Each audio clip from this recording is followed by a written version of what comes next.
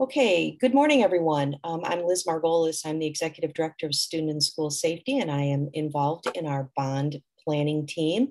With us today is Jill Minnick, our Assistant Superintendent of Finance and Operations, Emil Lauzzana, who's our Executive Director of Capital Projects, Andrew Cluley, who's already done his introductions. He's our Director of Communications, and Jason Bing, who's our Construction Project Auditor. You're going to hear a little bit from all of us today. Um, there is going to be an opportunity at the end um, to, there's also an opportunity for Q&As uh, um, as we go through this, as Andrew pointed out. And, and then at the end, we have something called Thought Exchange, where we're going to ask your opinions about what our presentation on the bond plan bond plan at this point is. So we can get started.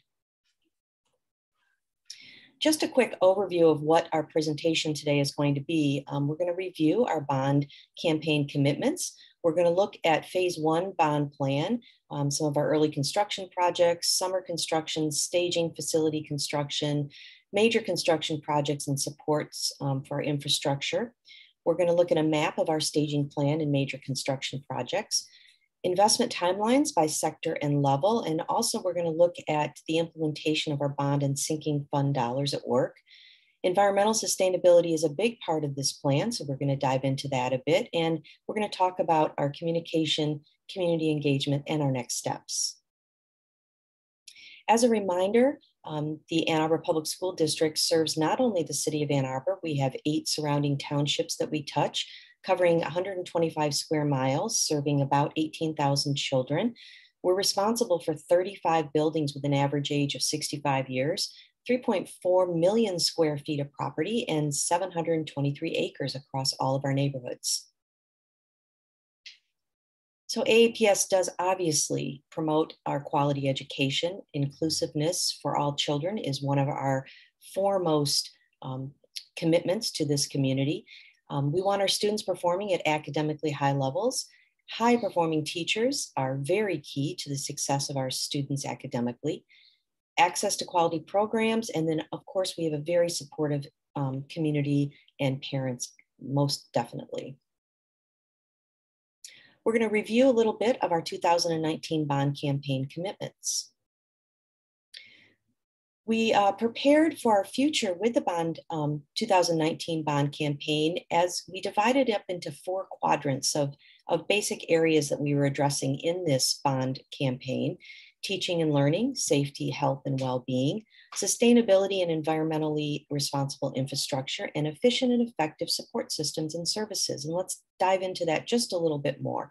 I'm not going to obviously go through all of this, this is all available on our website. But under our teaching and learning goal, we really want to support flexible and engaging learning environments. That is one of our key themes, as well as expanding some of our really successful applied programs such as STEAM, CTE, coding, and robotics. Um, uh, this all requires supportive infrastructure. So it, in, it requires upgrades to our classrooms, including our lighting, our thermal, our acoustical, and our air quality environments as well as providing spaces and equipment and furnishings for our very valued arts programs.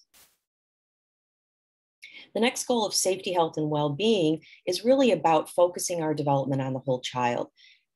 One of my special uh, areas that I always attend to is the safe and secure schools um, for all of our children and our community. And we want them to be centers of the community. We also want to provide um, opportunities for students to engage in a variety of different ways, including our gardens and our food production, and then enhance our food security for our vulnerable, vulnerable populations, which we actually have done during this pandemic. Um, even though it's not something we you know, want, none of us wanted to engage in, we have been able to go out and serve over a million meals um, to our vulnerable, vulnerable populations. Our supporting infrastructures, well, that's fine. We'll go on. Um, I'll just, yeah, we'll go on to the next goal, which is sustainability and environmentally responsible infrastructures. Again, this is about the climate that our students learn in and optimizing that learning environment um, based on best practices, including things like light and fresh air. Um, we are going to be renovating all of our classrooms um, into a modern system that provides great thermal and lighting for our students. We are, as you many of you know, installing solar energy right now through our um, many of our schools. And we're creating really good spaces for our students to not only work in, but learn in and support sustainable and environmentally responsible principles. Efficient and effective support systems and services. This is about technology and transportation replacement. Um, we want to make sure that our students continue to have the best technology um, that can help them in their achieve their individual goals. And then, of course, we want to continue doing our regular laptop replacements um, as well as our uh, state of the art art classrooms and classroom devices. Um, our media centers are going to start taking on a new look. And then, of course, we have our support services, such as our custodial or informa uh, information technology and our bus fleet, continual replacement. So we have excellent bus fleet, including what we've taken recently, our, our new electric buses. Oh, okay, well, I'm going to hand it off now to Emil, and he's going to talk about our bond phases. Thank you, Liz. Um, and all of what Liz overviewed in, in great detail is available on our website. And those, what she just overviewed, were all part of the promises uh, made on the campaign uh, leading up to the referendum and successful passage of the 2019 bond. And I'm pleased to be here today with my colleagues to present um, the first 10 years of the bond program that was approved by the board in December. And we're here today making sure everyone gets an update and understands what is happening over the next uh, 10 years of the bond program. Um, we're going to review uh, several areas, early construction projects, summer construction projects, uh, the construction of staging facilities, uh, what we are calling major construction projects that will be happening at every school in AAPS over the next 20 years, and support infrastructure, uh, furnishings, and equipment such as to support music, athletics, and other special programs. Um, early projects are happening in every school with a focus on, on equity. So making sure that all of our schools have access to the same level of amenities and, and uh, comfort in their buildings. So this includes solar energy, air conditioning, and air quality improvements at those buildings that do not have air conditioning. Uh, LED lighting, uh, bringing that across the district. Outdoor learning enhancement, something that has taken uh, a special meaning over the last year.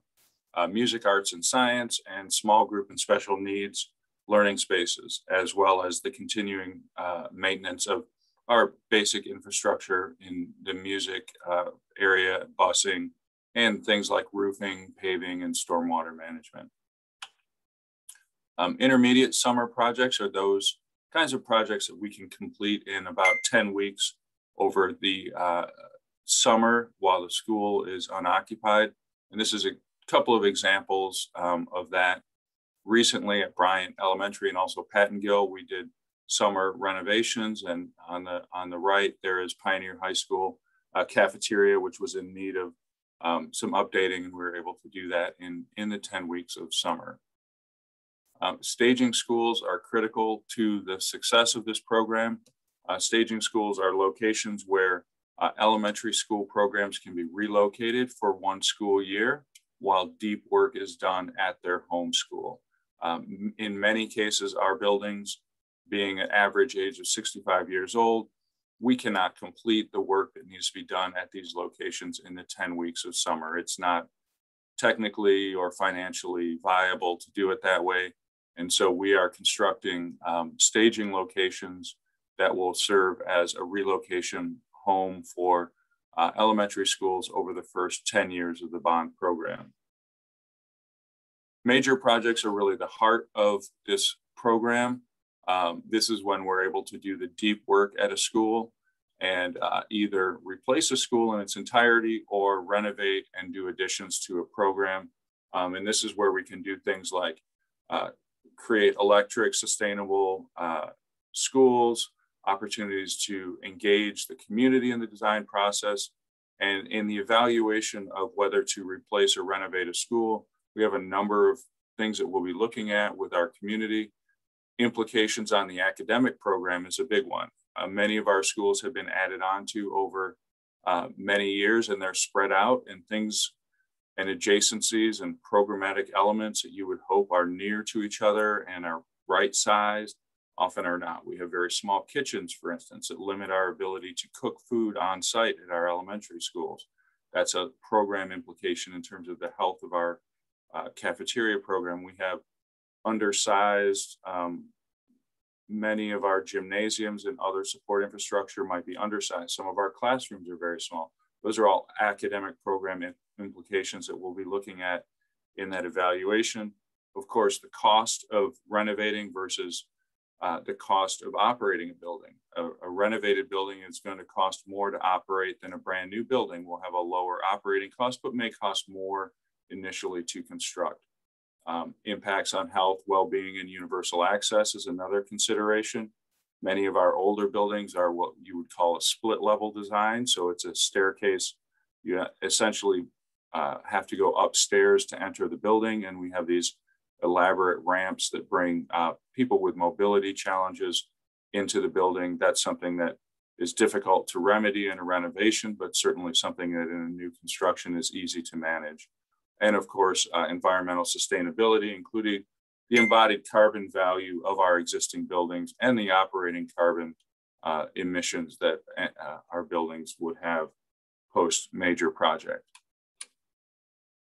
So uh, the question of which schools goes first was something that we have spent a long time looking at. And uh, some of the main prioritization considerations include the capital needs of the existing buildings, uh, matriculation, making sure that we don't uh, disrupt a student multiple times during the bond program so they're not under renovation in the fifth grade and then they go to middle school and they're in renovation again and then finally they go to high school and they're displaced or uh, made uh, disrupted by construction a third time. So matriculation is a consideration. And then housing development and anticipated enrollment growth pressures at the various schools is another consideration. So looking at the capital needs uh, we had a outside experts, engineers and architects evaluate every one of our buildings in late 2018 and early 2019. And the, they, uh, the chart that you see here is the amount of investment per square foot that is needed in each of our buildings over the next 10 years to maintain them in a good condition. So you'll see on the left are all of the elementary and K-8 schools, and you'll see Carpenter Elementary School at $283 per square foot in investment needs over the next 10 years. Um, and then followed by Mitchell, Dicken, Burns Park, and Wines, and on down the list. And you'll see the highest level of need is at the elementary school, follow, followed by the high school level with community and pathways at 176 and 175. And then finally, the middle schools having the lowest level of need in the conditions assessment from a financial investment standpoint looking at matriculation, um, and given that the elementary schools need the most work in the school district, the program begins with the elementary schools. Um, and then uh, in order to minimize the uh, matriculation uh, impacts of the construction program, uh, the bond program skips over middle schools and then goes to high schools uh, uh, next, and then finally middle schools at the end of the program thereby uh, not disrupting students as much as if we had have gone to the middle school second, um, but also recognizing that middle schools thereby come late in the program. We are uh, mobilizing some early projects at all five middle schools. Uh, that construction is underway currently um, at uh, Scarlett and Tappan middle schools. We'll be receiving air, school-wide air conditioning and ventilation improvements, new lights and ceilings, and some custom uh, needs on a school by school basis. Uh, this will happen next at uh, Clague and Forsyth, and the, the, middle school mobilization concludes with Slauson uh, starting in 2023. Um, that's to bring the middle schools. Uh, if anybody's been to the third floor of Tappan in um, in May and June, you'll know that this is sorely needed. These schools uh, overheat significantly, and this addition of air conditioning uh, will be a, a, great improvement for these programs, as well as the increased ventilation and air quality that this will provide. Um, the final uh, major consideration is the pressure of housing growth and new students to our buildings. This is um, a housing development study. Um, you'll see the items in yellow are currently under construction housing developments in the city of Ann Arbor. Um, the, the shaded parts are the different elementary school attendance boundaries. Um, and the green uh, shaded areas are housing developments that are under planning review currently. Um, and this is bringing a lot of pressure on certain areas. You'll see, for instance, in the northeast sector, you'll see the pressure happening here in the Logan area with a number of northeast northeast developments um, that will need to uh, will bring lots of students to our district, which is great, but we need places to put them and beautiful schools for them to attend. Um, as Liz mentioned, uh, we do serve uh, beyond the city of Ann Arbor. So the kind of red heart-shaped piece in the middle here, that's, that's the city of Ann Arbor. The white shaded area is the AAPS attendance boundary that stretches out into many of the surrounding townships. Um, most of our schools, with the exception of Pittsfield, are inside of the city of Ann Arbor. Pitts, I'm sorry, Carpenter School sits just outside of this uh, city of Ann Arbor boundary, sitting in Pittsfield Township. We're going to kind of zoom into this, this uh, black box here to look at the staging plan. So in order to complete the major construction projects at various schools, we do need to stage school communities. And so we'll look at the southeast sector here and uh, the in yellow. And this southeast uh, sort of circle here is the current Mitchell and the new Mitchell, which the board recently approved the design contract for the design of a new Mitchell Elementary School, which will be constructed on the site of the existing Mitchell School while the existing Mitchell remains occupied. Once the new school is completed, the Mitchell program will move to their new building and the old Mitchell School will serve as a staging location for a number of years.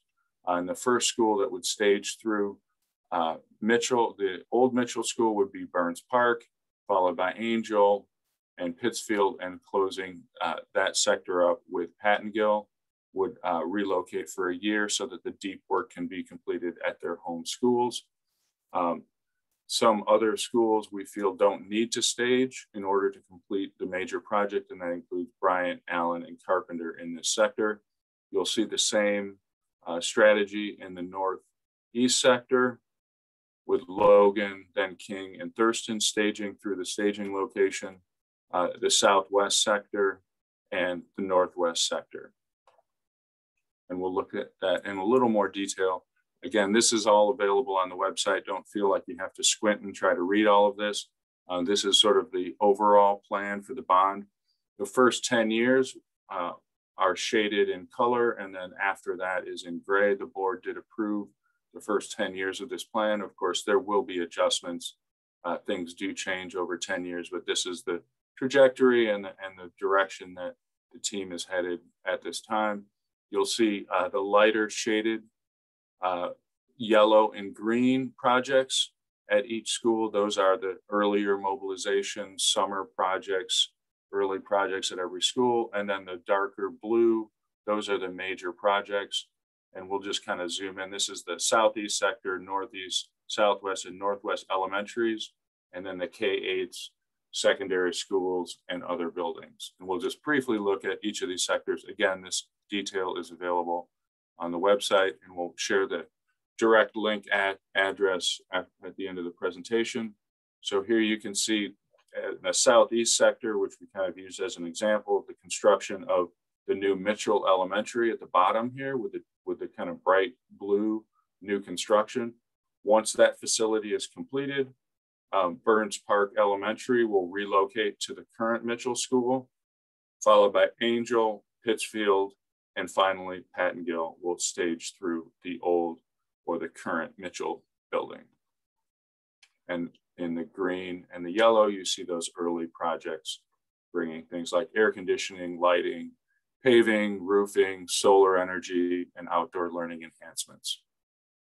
Uh, here is the Northeast sector. This is a tricky part of town for us. It's seen a lot of growth and uh, there is very little available land in the Northeast sector.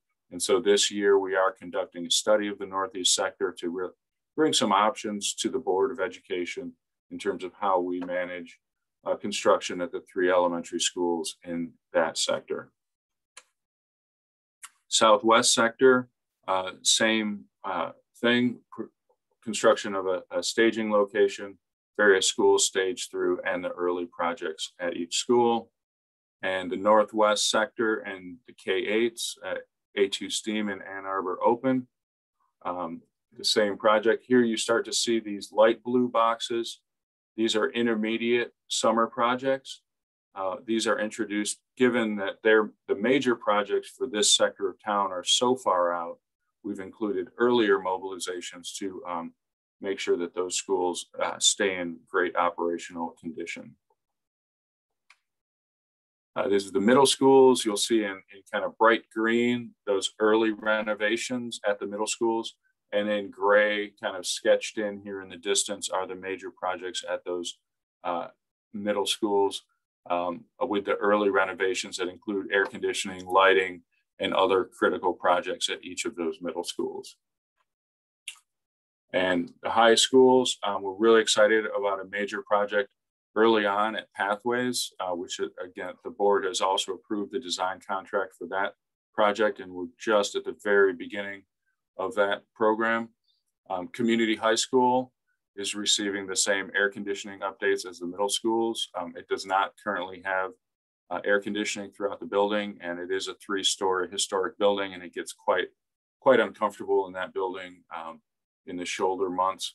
And then we can see uh, some initial summer projects, and then the major projects out in the distance, about 10 years away at the high school level. Once the elementaries are completed. And then some of our other buildings, um, the preschool building, uh, the Freeman Environmental Education Center, the transportation building, and the Balas building. We're looking at our central office operations.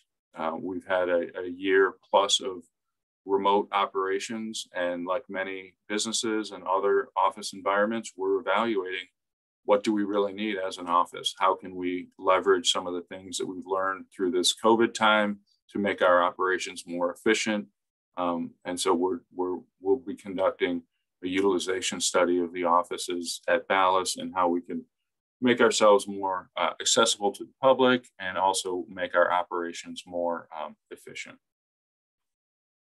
And continuing investment in things like um, buses, music, arts, etc. And I think I'm going to hand it over to Jill here, who's going to talk a little bit about the financial side of all this. Thank you, Emil. Good morning, everyone. All the projects that Emil just reviewed are supported by the bond millage. However, Ann Arbor Public Schools has been investing in critical upgrades to buildings and sites over the past number of years uh, with the renewal of the sinking fund millage. But by layering in the passage of the bond, we are able to expand these efforts in even more meaningful and transformative ways to benefit our students with enhanced learning environments. We are extremely grateful for the support of our community we have already completed several projects and many are underway that uh, Jason will review uh, momentarily, but I did want to spend just a few minutes on how the sinking fund and the bond finances work and how they are two distinct millages and separate funding streams. And uh, just review just briefly how they dovetail together to support this work.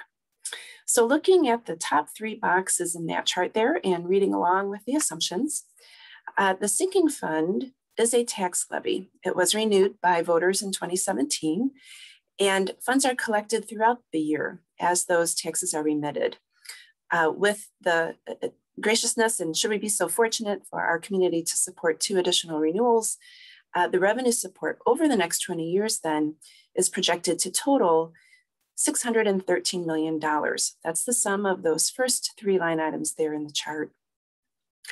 Next, continuing down uh, with the bond millage approved by the voters in November of 2019, that allows the district to issue bonds, which are debt instruments. Uh, the district literally sells bonds and we use the proceeds to fund the projects. The millage tax dollars then uh, provide for the principal and interest payments on that debt. The district is only allowed to issue so much debt at a time, so we cannot sell all the bonds at once we have to pay down the debt And then as we go along, then we can sell more series of bonds. And we intend to do this over uh, the course of four series of bonds. Uh, we sold the first series in 2020, and we anticipate doing so again in 2022, 2025, and 2029. And the total proceeds from those four issuances of bonds uh, will be $1 billion. The district will continue to to utilize the sinking fund for routine building and infrastructure repairs and replacements, and that averages about $8 million per year or $160 million over the course of the 20 years of this bond program. So by layering in the sinking fund and the bond dollars in a strategic way, we are able to invest about $1.45 billion in these projects over the course of the 20 years. Uh, just one last note, I want to emphasize that state statute prohibits bond proceeds from being used for salaries, benefits, and other general operating expenses. And likewise, we're also prohibited, prohibited from using sinking fund dollars for those things, but also uh, from using them for equipment such as school buses or food service equipment or student desks and chairs. Um, but also, these sinking fund and bond expenditures are audited each year and reported to the state of Michigan. So enough on financing. I will turn it over to Jason Bing to review the recent projects we have completed as well as projects underway and planned for future years. Thank you, Ms. Minnick. Uh, so the capital projects team is very excited to be implementing the bond plan, uh, but we're also really proud of the work we've started through the sinking fund over the last couple years. We've made some significant investments uh, district-wide to improve or create healthier environments for our students and staff. Uh, we've added over 200 filtered water bottle filling stations, made hands-free and touchless separation improvements. We've enhanced ventilation and filtration upgrades uh, to the HVAC equipment to improve air quality. Made some critical infrastructure upgrades, including our building management system. Uh, we've updated parking lots, I made repairs to stormwater systems. We've replaced synthetic turf fields and running tracks at our major high school facilities. We've added modular classrooms um, when necessary. We've uh, focused on the last couple of years uh, with some performance um, and enhancements at cl for classrooms at Bryant and Pattengill elementary schools. And with each of these projects and those not even reflected here, we've had an eye towards environmental sustainability, um, and I'll highlight a couple of those projects here in the next couple slides. So as we've um, been making improvements at our facilities to Bryant and Pattengill Elementary, we really focused on increasing the overall performance of these schools. Uh, at Bryant uh, in particular, we wanted to, in, to improve the health and comfort of our classrooms so we upgraded um, to high efficiency LEDs. We increased access to daylight and created views to nature, which didn't previously exist. Um, we enhanced user controls and upgraded our building automation system. Over this past summer and fall, we've added four new electric buses and the charging infrastructure to support that those buses. Uh, this effort was funded uh, in large part from EGLE and the VW settlement funds and a DTE pilot program. Uh, we're really excited to learn more uh, through this pilot program and, and possibly catch a glimpse of clean energy transportation in the future for AAPS. Um, we've had a pretty exciting rooftop solar array program uh, that's kicked off here. We've followed our major uh, rooftop replacements, uh, major rooftop upgrades with the rooftop solar arrays. And by the end of 2021, we'll have uh, installed large scale arrays at Pattengill, Haisley, A2 STEAM, Forsyth Middle, Huron High, and Bryant Elementary Schools. Uh, this will give us nearly one megawatt of rooftop solar capacity, which produces enough clean energy to offset the carbon emissions equivalent to over 160 homes of annual electricity usage, and we have more on the way. Um, digging into the bond plan implementation, as Emil mentioned, uh, the early work begins with air conditioning and lighting improvements. That work starts this summer, 2021. Uh, Angell, Burns Park, Carpenter, Dicken, Lakewood, and Mitchell will also receive new air conditioning, dimmable LED lighting, enhanced controls, and some cosmetic improvements to both ceilings and windows. Uh, we are making some significant HVAC improvements, high performance upgrades to both heating and cooling systems at Scarlett and Tappan Middle Schools, as well as Community High School, adding dimmable LED lighting, enhanced HVAC and lighting controls, and we're making, uh, as Emil mentioned, custom as needed uh, classroom improvements as well. Uh, these AC and lighting projects will be followed by another uh, series. In 2022, we had five more elementary schools, Allen, Bach, Eber White, Pittsfield, Wines, uh, jumped to Clague Middle School and Forsyth Middle School and Pioneer High School. In 2023, we'll be tackling the K-8s, Ann Arbor Open and A2 STEAM, Lawton Elementary School, Thurston, and Slauson Middle School. And we'll wrap up our AC and lighting projects in 2024 with work at Abbott, Haisley, King, Logan, and Huron High. Our major projects, as Emil mentioned, are set to begin construction in 2022. Um, these are the projects with goals and criteria outlined in Mr. Lauzzana's presentation. Um, we begin with Pathways to Success uh, and uh, follow that with a new Mitchell Elementary School, which creates our first staging school in 2023 and that will allow us to begin work at Burns Park and Dicken in 2024. And we'll follow that with work at Angell, Carpenter, Lakewood, Logan, and a new Southwest Staging School, all in 2025 with major projects. And one of the things I appreciate the most about working with AAPS is our commitment to environmental sustainability. And the board, the bond plan really uh, builds upon the board policy 8000 uh, adopted in December of 2018, uh, in which the Ann Arbor Public Schools recognizes that climate change is real, increasing, and caused by human activity.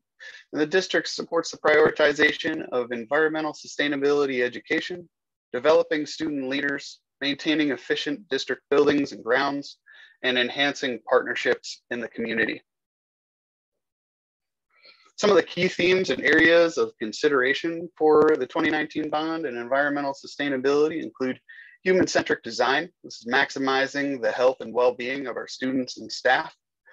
Net zero energy ready design, uh, considering both embodied and operational carbon, uh, utilizing tools such as life cycle analysis and environmental product declarations and evaluating design decisions, and developing an AAPS specific sustainable design guideline with the advisement of the Environmental Sustainability Task Force. Human-centric design is really important to the core mission of the district. Um, and it's because there's a growing body of research that's connecting improved student health in academic facilities to improved student cognitive function, which then can lead to better outcomes in the classroom.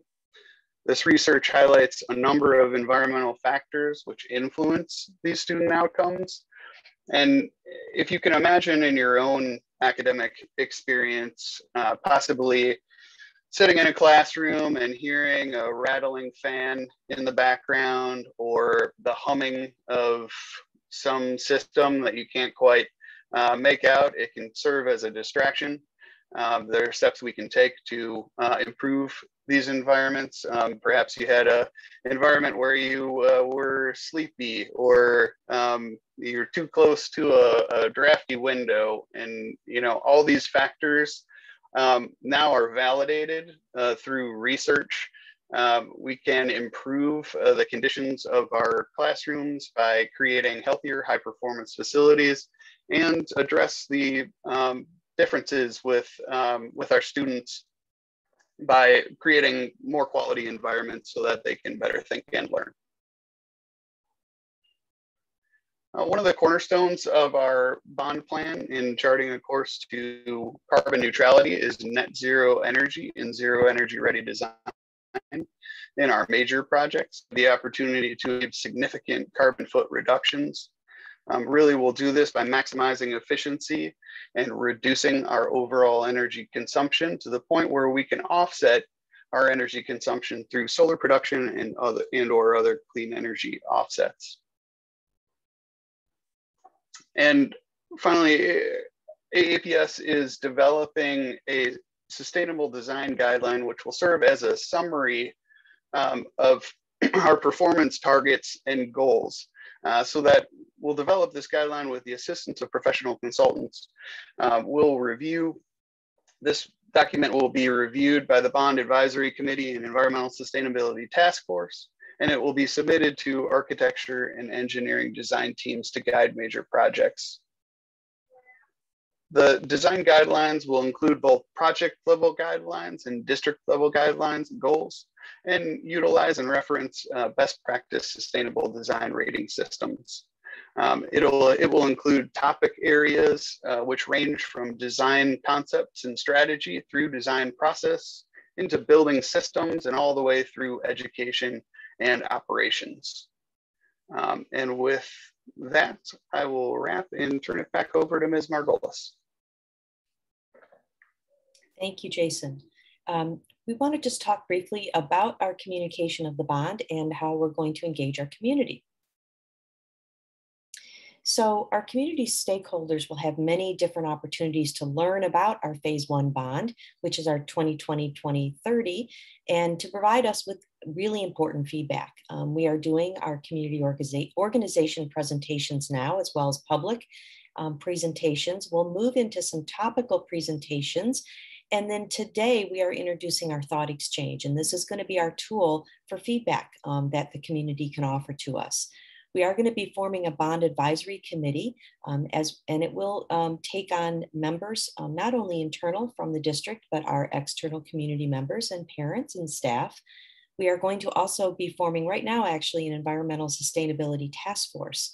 School design committees will be um, put together for every major school project. So both the staff, parents, the community members that live in that school area will all have the opportunity to be part of the school design um, teams.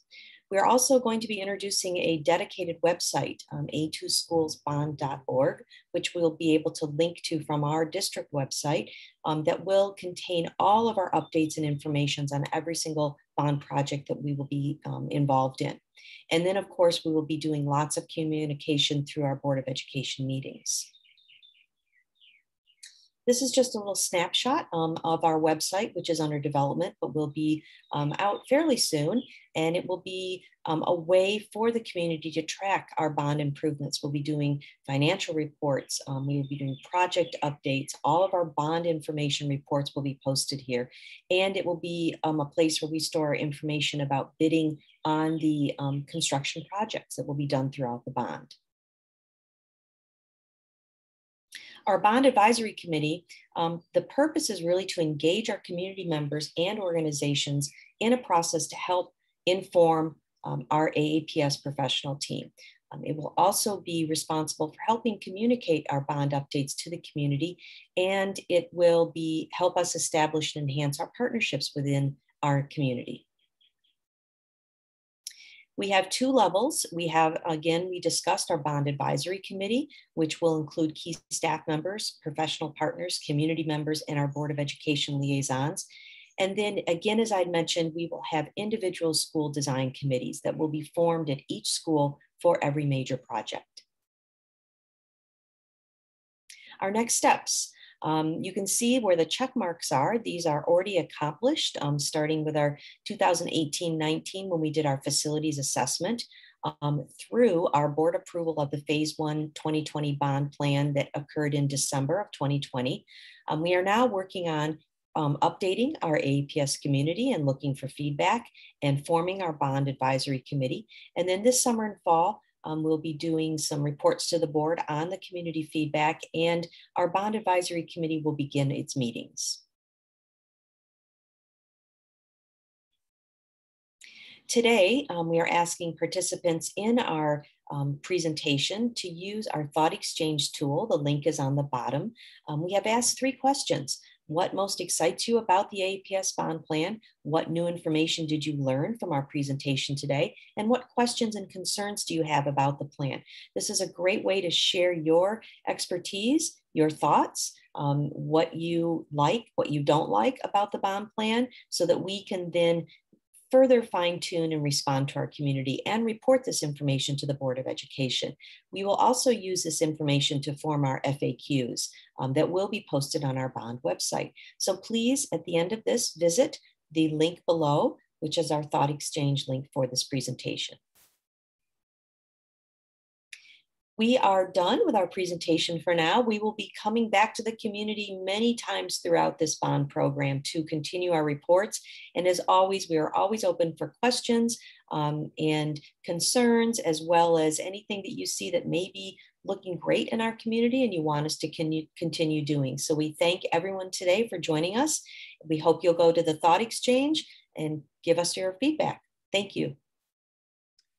And a reminder, if you have an immediate question, uh, the Q&A button down at the bottom is where you can uh, submit that question. Can we go back one slide to show that thought exchange link again so that uh, people can see it? Yep, there we go. So if you have any questions, please enter them now. Well, it doesn't look like we have any questions at this time, so we just ask that people go visit that thought exchange and participate um, that way. And uh, since we don't have any other questions at this time, I think we'll uh, close the meeting. So thank you all for attending